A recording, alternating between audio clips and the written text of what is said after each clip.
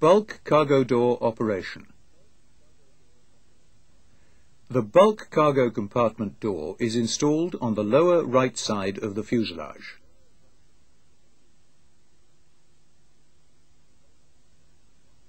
The bulk door is a manually operated door. The operating procedures are labelled on the door.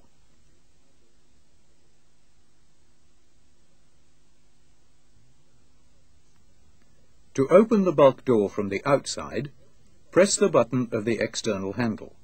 Set it to its open position and then to its locked position again.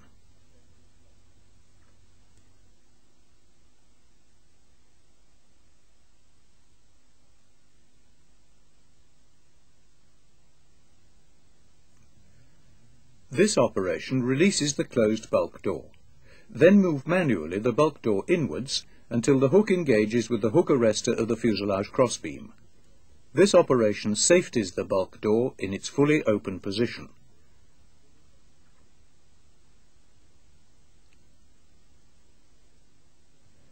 To release the opened bulk door, put the handle to its open position. A balance mechanism prevents the bulk door from falling down.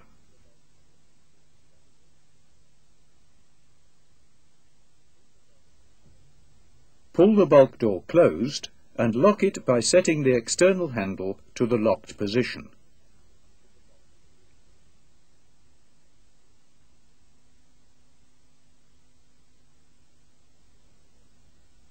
After operation from the outside, push the external handle into its recess again.